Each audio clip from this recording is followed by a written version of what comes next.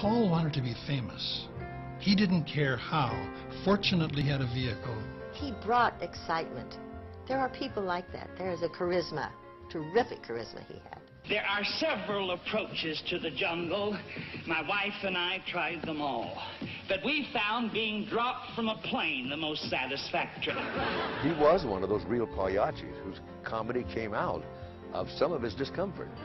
Seems there's been a slight mistake. Underneath all that humor always was a little bit of cruelty. He was hilariously funny on one drink. On two drinks, he was Joseph Mengele.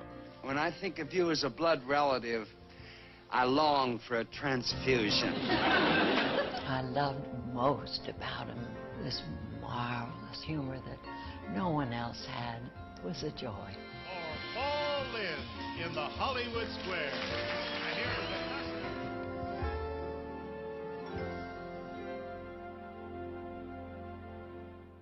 Mount Vernon, Ohio, a small town in the heart of the Midwest with a population of no more than 15,000. Known as the birthplace of Daniel Decatur Emmett, the composer who wrote Dixie and Old Dan Tucker. Now, it's also known as the birthplace of Paul Lynde. Paul Lynde was born in Mount Vernon on June 13, 1926. His father, Hoy Lynde, served four years as county sheriff, and when Paul was small, the family lived over the county jail. When Paul's father wasn't sheriff, he was a butcher, a butcher with a sense of humor. Saturday mornings at the butcher shop, when someone would order a rump roast, Hoy Lynde would go into his act. He would take his arm and lay Shorty, another butcher, across the butcher block, grab a saw, and start sawing on his rump. And that would bring the house down. Paul's mother, Sylvia, was a quiet woman who doted on her children and loved to cook. Starches and fried food were her favorite menu items, and eating was the central activity of the house. They used to joke that in his family at lunch, they would always talk about what they were going to have for dinner. That was just, the food was such an important part of their whole family dynamic. Paul was the fifth of six children and the third of four boys. Right from the start, Paul felt worthless. There was four brothers, and he always listed them as um, Richard the athlete, Cordy the brain, Johnny the baby, and Paul the nothing. He really felt like he was just kind of lost in his huge family. Paul may have felt that way about himself, but no one else did. His friends thought he was intelligent and entertaining. In the early years, he was smart, articulate, and very funny. When Paul was 10, his appendix ruptured. This was followed by an illness called peritonitis, and Paul was bedridden for nearly a year. During this time, his mother lavished him with her Midwestern cooking, and Paul gained over 100 pounds. When he entered high school, he weighed 260 pounds. In later years, he would say he looked like Kate Smith's niece. He worried about his weight apparently all the time in high school. And he told me that when he was playing in the school band, the uniform wouldn't fit him because he was a big kid. And he played the bass drum in the band because he could put it over his uniform and they wouldn't see that it didn't fit. He just became the proverbial fat kid of his class. And uh, in order to uh, compensate for that and find his own identity, he just became the, the fat clown of the class. He, he knew that he could use his weight for laughs. Paul fostered his comedy style with his friends, a gang of kids on the fringes of the class who entertained themselves with sadistic satire, as Lynde described it, and pranks such as selling family furniture when their parents were out of town. One of the members of this gang was a girl named Marilyn. Paul considered her his girlfriend, but he liked her more than I think than, than she liked him. We always had good times together. Paul and his friends went to the movies a lot. Paul himself often spent entire Saturdays in the theater. He was actually obsessed with movies. He really wanted just to be rich and famous, and he thought the only way he could do it was to become a movie star. Paul was so obsessed with wealth that as a kid he would sit on the steps of a mansion near his house and wave at passing cars, pretending he lived there. Paul took his passion for movies and acting to school, where he performed in a number of school plays. When that opportunity came to go out on that stage, he loved it. You could just see that it's It was part of his makeup. Oh, he was a good actor, but not in the leading roles. And I think that was goes goes back to the weight problem. After school, Paul worked in his father's butcher shop. He hated washing out the chicken coop and cleaning the chickens, but he enjoyed working Saturday mornings when all the meat orders were called in and he could joke with the customers. He had little respect, however, for his father's chosen profession. He was embarrassed that his father was a butcher. He would like to have his occupation more elevated, so he always referred to him as a cattle surgeon. He felt that that came across a, a notch or two higher. Paul was not a great student, but a speech teacher at his high school was impressed with his writing and acting ability. She encouraged him to apply to her alma mater, Northwestern University's Speech and Drama School. Paul's father disapproved. He didn't want his son to go into show business. But Paul enrolled there anyway in the fall of 1944, and his father came through with the tuition.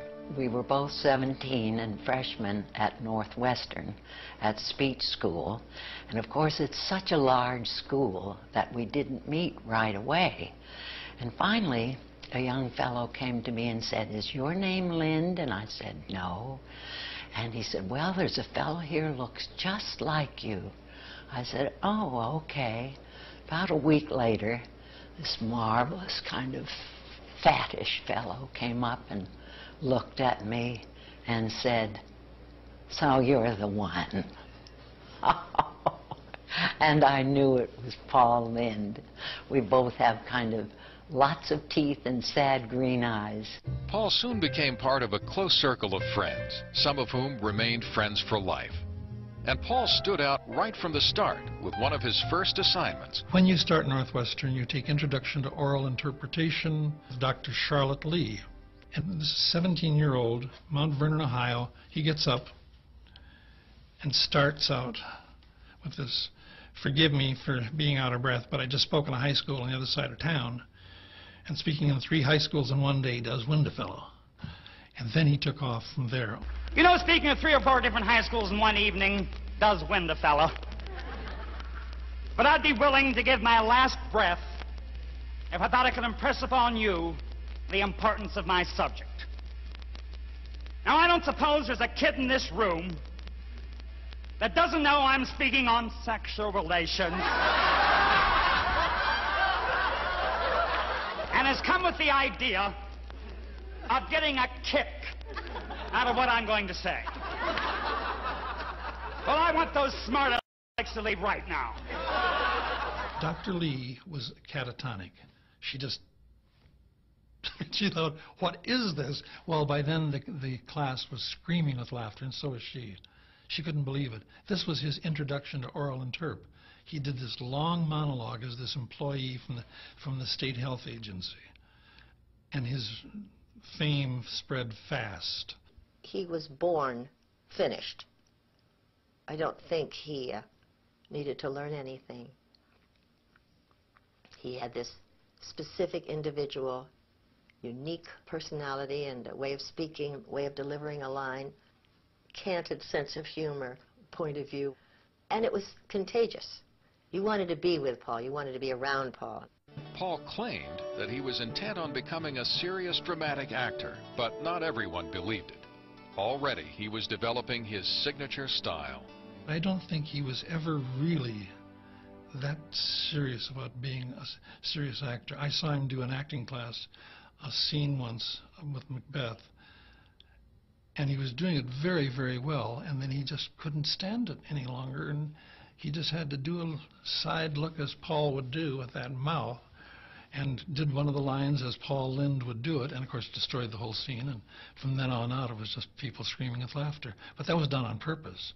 Paul would try and do serious parts, but he'd just open his mouth and everyone would fall to the floor. He couldn't, couldn't make them be serious. If he wasn't really serious about becoming a dramatic actor, he was still very serious about something else. He would say in our early morning speech class, he'd look over to me and say, I'm going to be rich and famous. And we all said, sure, okay. Paul would not be the only one from that class to become rich and famous. Among his schoolmates those years were Charlotte Rae, Patricia Neal, and Charlton Heston, to name a few. And it was a crowd that knew they were going somewhere. No doubt. We were the cream of the crop. I mean, we were. It, it, it's not bragging, it's the truth. It's just, uh, we weren't hopefuls. During his years at Northwestern, Paul performed in many shows and plays. He was very popular with other students, although he formed no serious relationships. It was a pattern he'd follow for years. He had no emotional attachments in school with anybody.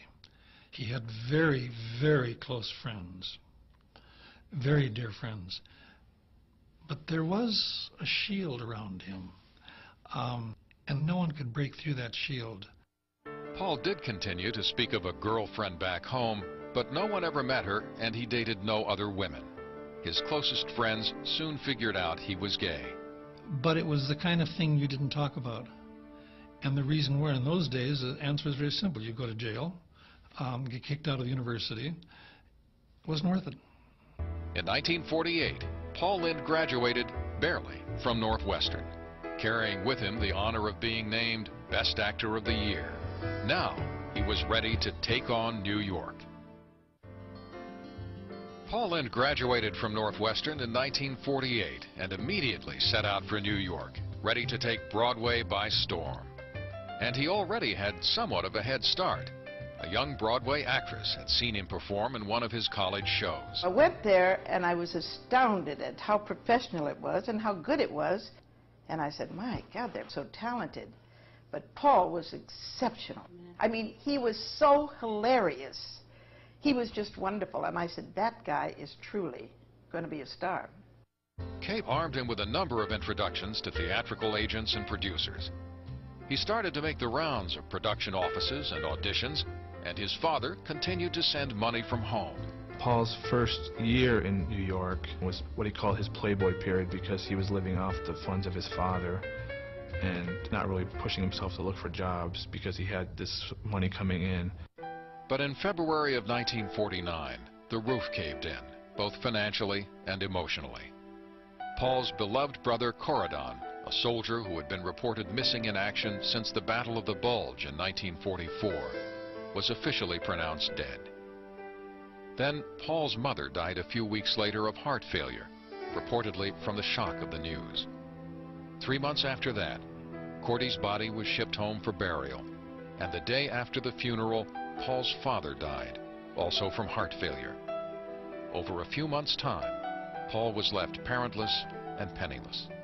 When his father died, he came back to New York after the funeral, and he lived in some very inexpensive boarding house where Imogene Coca and Marlon Brando also had uh, roomed at the same time. He would steal food from their uh, refrigerator, uh, their community refrigerator. He always talked about this as the lowest point in his life. Paul could not find any acting work, so he took odd jobs as a waiter and hotel clerk to make ends meet. He also sold his blood every six weeks for $5 a pint. On top of all this, Paul received news that his high school friend Marilyn was marrying someone else. He used her the rest of his life as a beard. Whenever anybody would ask why why weren't you married or why haven't you married, he would always say that this Marilyn from his childhood broke his heart. The only positive thing to come out of this period is that Paul set his mind to losing weight. He realized he was not getting roles because of his appearance, so over the course of two years, he lost almost 100 pounds. First time I saw him after college, about two and a half years later, I was blown away. I barely recognized him. He was a very handsome guy. But this would not mark the end of Lynde's battles with weight. Paul had to struggle with diets for the rest of his life to keep himself trim. Paul Lynde, and I have gained and lost 2,000 pounds in our lifetime. Frightening. I hate people that can eat anything they want. And he did too. We'd go to a restaurant and say, look at her, look at her stuffing her face. Well, you know, it, it was frightening. On Thanksgiving Day, 1950, Paul's fortunes changed. He wrote some funny material, entered an amateur stand-up comic contest at a popular New York night spot, and won. For the prize, he got a one-week engagement at the club. This, in turn, led to a series of other nightclub dates. A year later, he got a big break when he snagged a spot in a Broadway revue, New Faces of 1952, which was later made into a film. There, he performed his now classic monologue, The Trip of the Month Club, where he played a hapless but determinedly upbeat survivor of a horrific tourist trip to Africa. The next morning was one of those mornings when you hear the screech of the orangutan, the roar of the lion, and the trees were full of beautifully colored birds and snakes. Rembrandt couldn't have captured that beauty.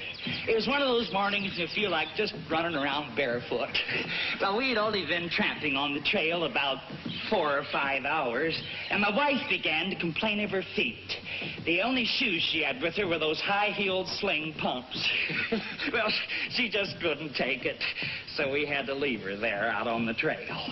A couple of days later, on the way back, I found this piece of her dress, along with her purse and gloves. And to this day, I don't know what happened to her. Other performers in the show included Eartha Kitt, Carol Lawrence, and Alice Ghostley. New Faces became a huge Broadway hit, and Lynde's performance was singled out as the funniest bit of the evening.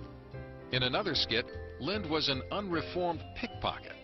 His manic, exaggerated style was becoming his trademark. Hey, something's happening to me. I'm getting so I can't pick pockets when cops are around.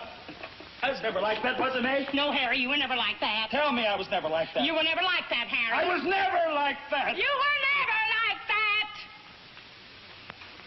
I was never like that. It looked like Lynde was well on his way, but it would be a long time before he saw Broadway again. Over the next eight years, he made guest appearances on variety shows and did some radio work and summer stock theater. He also went back to his old eating habits and ballooned accordingly. By 1958, Paul was in a deep depression and not working at all. He said he was contemplating suicide. He talked about around that time that he was at this party with a bunch of his friends in New York and he just stood up halfway through the party and said, you know, I haven't heard a word anyone said all night and I just don't think it's fair to be doing this to you and he like left the party and the very next day he decided he had to get some analysis. Paul saw a psychiatrist for more than a year. He later claimed she saved his life. Paul's career also took a huge leap forward. In 1960, director Gower Champion hired him to play the father of a star-struck teenager in the new Broadway musical Bye Bye Birdie. Paul would play the same role in the successful movie version of the show three years later. I demand respect around here. It's my hair. Respect, you hear? Respect. I respect you, Papa. I don't want your respect. Who wants respect from a 10-year-old kid? The part was made for Paul Lynde. Nobody else played that guy. He played just kind of a common man who looked aghast at the world around him and, and couldn't deal with it. He just was totally helpless at all times and was, and was very cranky about it.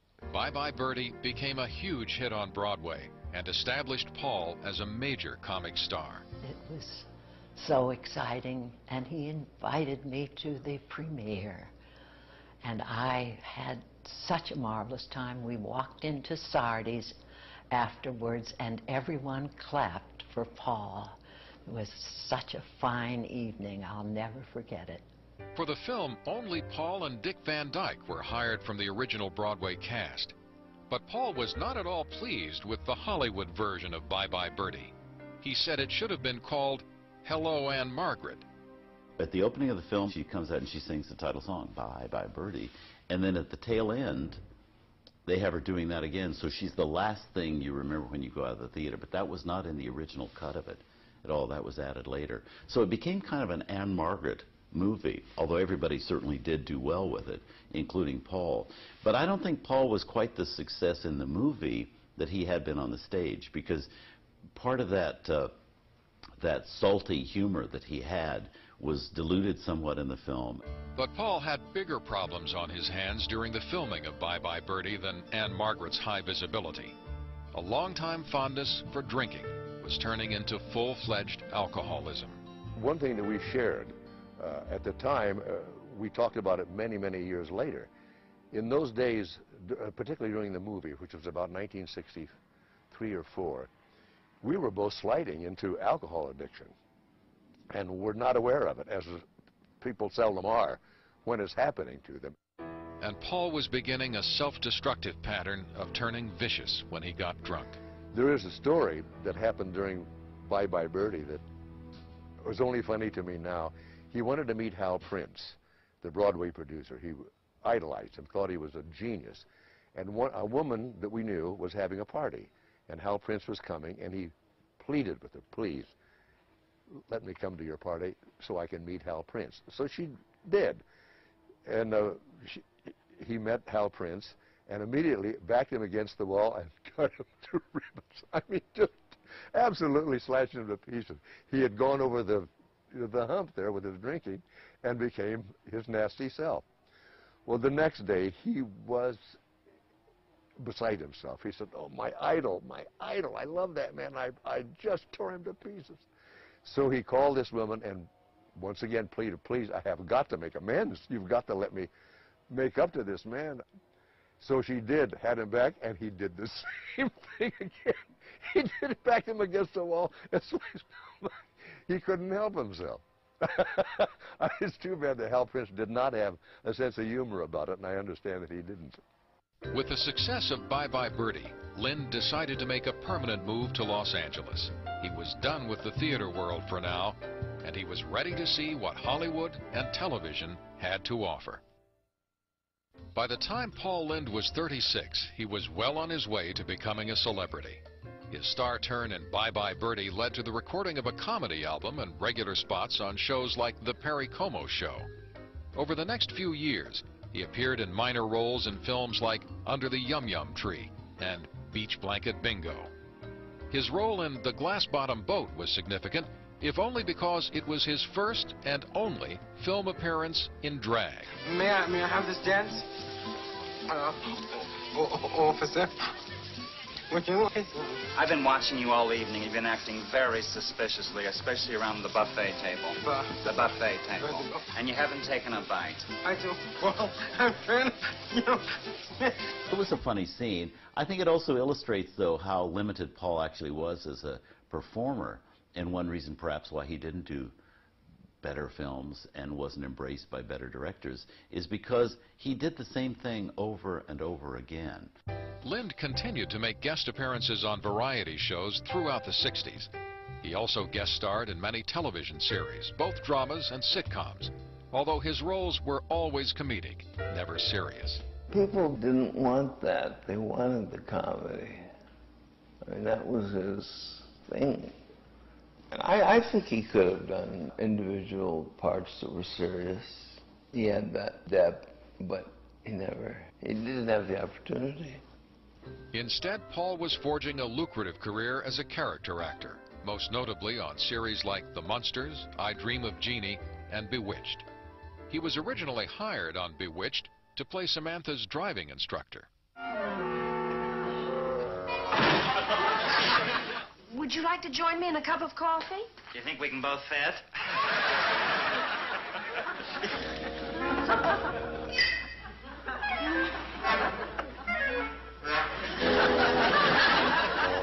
Ready? Ready. How am I doing? How to phrase it tactfully. You are rotten. Elizabeth Montgomery enjoyed Paul so much that the show created the regular role of Uncle Arthur for him. My life has no meaning. I have loved and lost. Oh, my stars. A broken-hearted clown. Laugh, clown. No one knows your heart is broken. Even though you're only make-believing. Laugh, clown, laugh. He was great in that because that was also a level that was good for him. I mean, it was not an important series. It was a entertaining series. It was very lightweight and all of that. And it was, again, something that he could kind of do, I think, with his eyes closed. Director William Asher and his wife, Elizabeth Montgomery, became Paul's best friends. And he spent an enormous amount of time with them. But Paul still found it hard to be close to very many people. For the most part, he remained aloof. His persona on camera and on stage was totally different.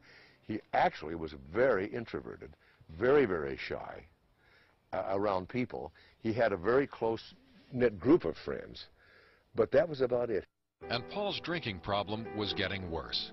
After a few cocktails, that genial, funny guy that people saw on television lost all control and became very mean, sometimes violent. I lived in an apartment building next to where he lived, and uh, I remember one night there was this big kerfuffle in his apartment, this noise and crashing and sound, and the police were called. He'd had somebody over for dinner, and during the course of the dinner, they'd started breaking up the apartment, and so the police took them off to jail. So that was Paul. I mean, he was uh, volatile and and crazy always. A few years after Lynde moved to Los Angeles, his life did appear to be settling down. He bought a house that was formerly owned by Errol Flynn and spent a small fortune renovating and decorating it. He was, however, quite neurotic about protecting it when friends came to visit. Paul had gorgeous taste, stunning taste in his decorating. Everything was perfect. And I remember taking an ashtray from one table to another. Don't touch it. I said, okay. Paul's most public and by all accounts most successful relationship was with his dog, Harry McAfee, who was named after Paul's character in Bye Bye Birdie. He adored his dog and brought him everywhere. The rest of his love life, however, remained extremely private. Everyone in Hollywood knew that Paul was gay, but no one ever talked about it. It wasn't spoken of as much in those days. People didn't go around saying, hello, I'm gay. You know, I'm Spartacus. It wasn't any of that. But, uh, I mean, I think everybody knew. And, and if they didn't know just to meet him, once they, they sussed his living situation, you know, they knew. I mean, there was always some, you know, cute guy named Chad standing around holding a, a martini glass. The only very public hint of Paul's backstage life occurred in 1965, when a young actor named Jim Davidson, who was staying with Paul in a hotel in San Francisco, fell to his death from the ledge of the hotel window reportedly trying to impress Paul with a trick. What he was doing is um, he crawled out the window and then hung from the sill and tried to pull himself up, and he couldn't. And Paul tried to help him, but he slipped. The fact that it was with Paul was enough for most people to believe that he could have been pushed. which says a lot about how people felt about Paul and how they themselves had been treated by him. So you never really wanted to be too near an open window when you were dealing with him. By the mid-60s, Paul was enjoying great success as a guest star on many television shows. But he had dreams of becoming something more. He wanted to be the star of his own series. To that end, Lynde made four different sitcom pilots. None of them made it to air. Paul felt that one of them, a Victorian detective spoof, was some of his best work. A puzzle is a puzzle, Major Dobbs, be it the theft of the Magna Carta or a piece of string. Duplicate this if you can. A perfect triple trapezoid. ABC did pick up the Sedgwick pilot, but after Jim Davidson's death and the surrounding gossip, they were too scared to put it on the air. ABC was worried about it. They were worried about Paul and what he might do. Paul was bitterly disappointed, but he soon had plenty to occupy his time. In 1966, he made his first appearance on a new television game show. It was called Hollywood Squares.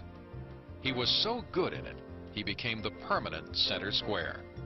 It turned out to be the longest lasting role of his life, and even though he didn't write his own material, the format was perfectly suited to his humor. Queen Elizabeth generally swings her umbrella behind her back, and immediately something happens.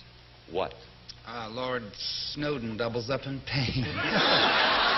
According to Fred Astaire, his mother wanted him to do it when he was 35, but he refused, and he still hasn't done it. Done what? Moved out of the house. there was a wit, it was one line, a zinger, It was one thing that uh, summed up the situation. Twiggy reportedly added an inch to her bust line while making the boyfriend. What does that make her bust measurement now? One. That was the, his whole comic thing was, I'm now going to tell you the truth in one line, and you can't fight me. And I think that people responded to that. Responded in droves, in fact. Lynde's outrageous wit attracted an army of fans and contributed to making Hollywood Squares one of the most popular and long-running game shows in television history. Paul would stay on the show for 15 years. A great, great amount of the success of the show was due to his participation. I mean, people looked forward to him, they loved him. They would quote his jokes the day after, the week after. You know, he received more love letters than anybody. I was pretty cute in those days. he got many more love letters than I did. People were mad for him. Ironically, Paul's biggest fans were women, middle America housewives who never seemed to notice that Lynde was a homosexual. To them, he was much like Liberace, just lovably eccentric and flamboyant, even when his humor had undeniably gay and kinky overtones. I would say, Paul, uh, why do motorcyclists wear leather? And he says, because you find wrinkles. $500 in the tie game. The great writer George Bernard Shaw once wrote, It's such a wonderful thing. What a crime to waste it on children. What is it? A whipping. Paul achieved enormous visibility and popularity through Hollywood squares. He was finally rich and famous. But it wouldn't be long before he viewed the center square as a prison. By the time Paul Lynde entered the 70s and his 40s, he was logging over 180 hours on television each year. He had, to all appearances, achieved his dream of wealth and fame. But it didn't seem to make him happy or calm him down. We all thought that, that Paul's demons were something that success would cure. And once he got the house and the money and the fame, that that would make him nice. But it didn't. He only got more volatile and more complicated as time went on. For one thing, success never eliminated his insecurity. The fat boy from Ohio still felt like the fat boy from Ohio. He never knew how talented he was. He never knew how handsome he was. He never knew how sexy he was. And he was all those things. But I felt bad because he never really acknowledged it about himself, you know. Paul even questioned how funny he was. In the early nightclub days, if only because of poverty, he had written all his own sketches and monologues. Now he required a writer wherever he went, and that included his zingers on Hollywood squares. True or false? Some airlines now give you a thorough frisking before permitting you to board the plane. Well, that's the only reason I fly. All his material was written for him. All his material was written for him. It's one of the amazing things about Paul was that he was an amazingly funny guy, a terrifically witty guy, but he had no confidence in himself.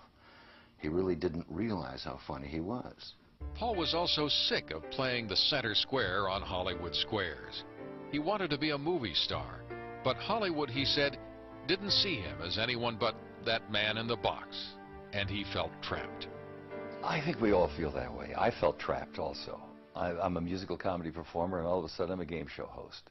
Uh, he was a, Uh, he's, he's done theater, he's done thing, all of a sudden he's on a game show. And it, it, it's not a good, it has a stigma to it. He was making a fortune, and he was a hugely popular, recognizable personality, but he was not the center of anything except Hollywood Squares, and I think he felt that was a cheap thing to be the center of. Paul did have some opportunities to break out of the box. In 1972, he starred in his own sitcom, The Paul Lynde Show. Martha, sex is not for housewives.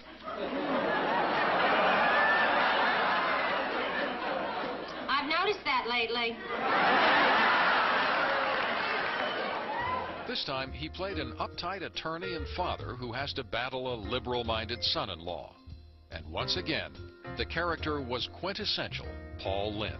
I'll tell you what you've just done.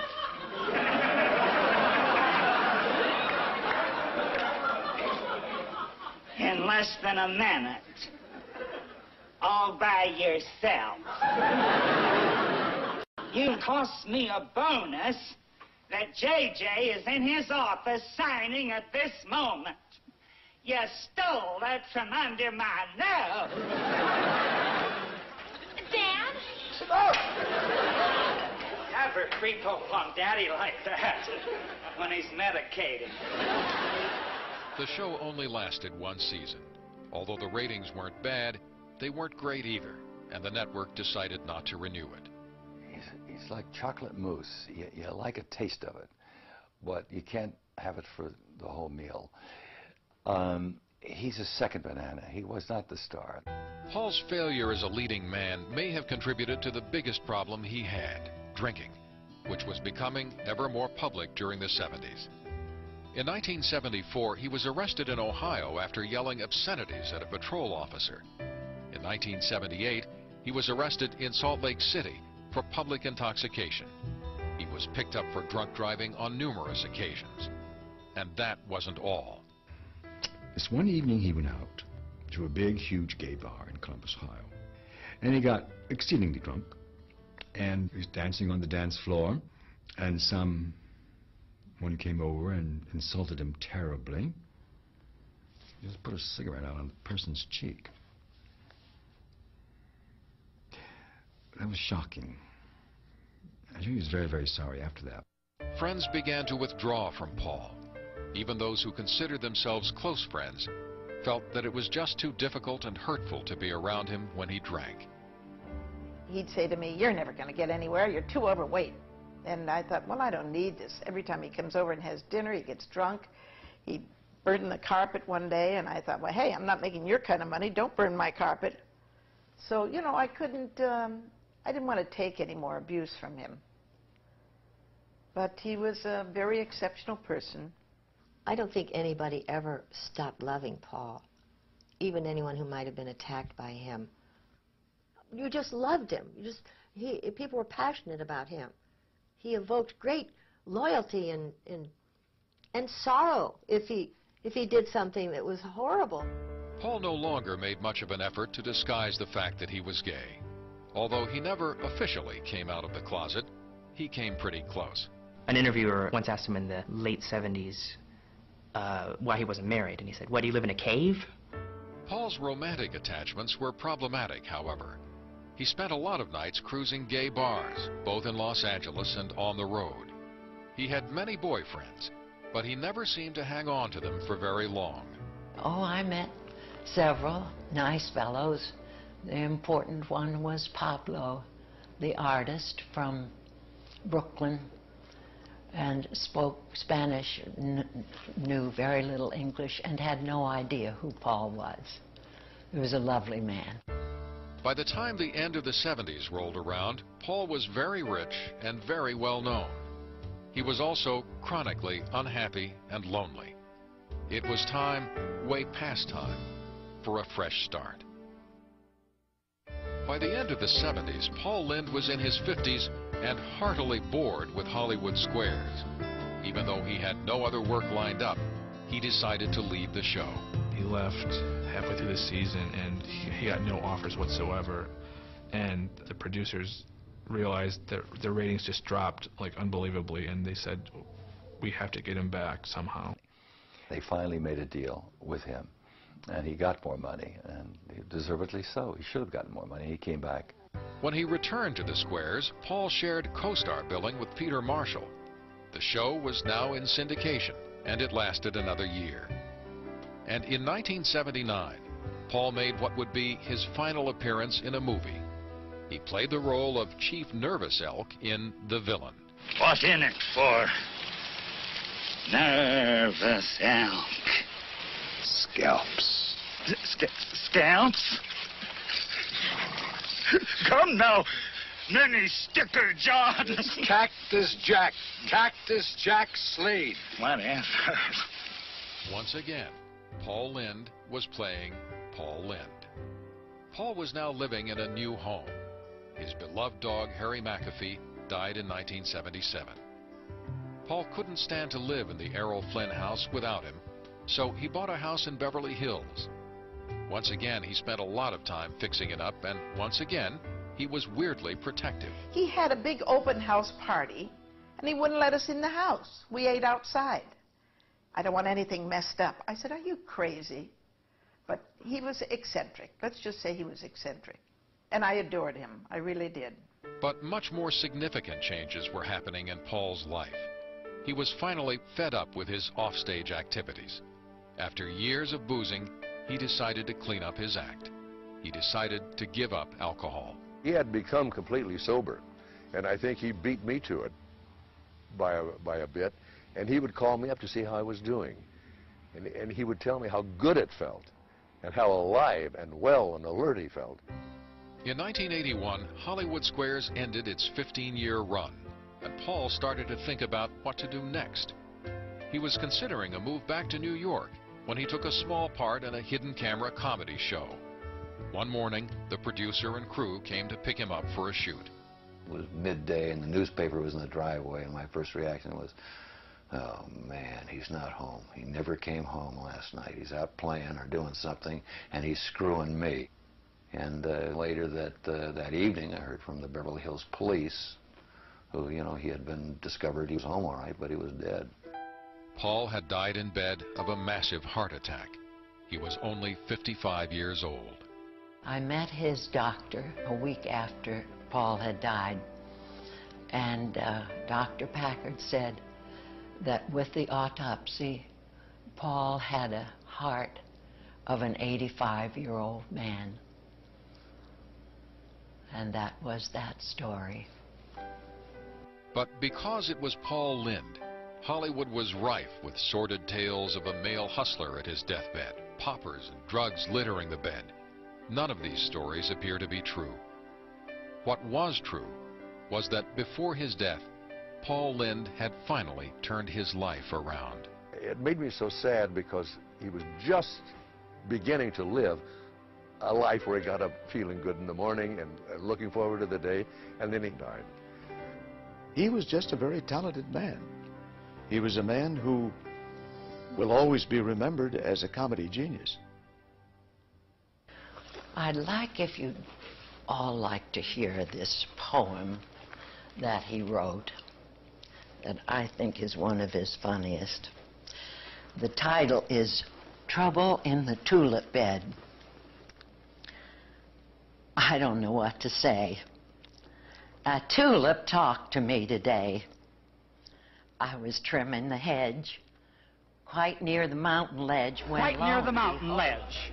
When lo and behold, my blood ran cold. Yes! A tulip screamed at me today. It was my favorite, the one I call Blanche. She puckered up her petals and screamed, Avalanche! Yes, a tulip saved my life today. Now, you may not think this quite so much, but you see... But you see, most tulips speak Dutch.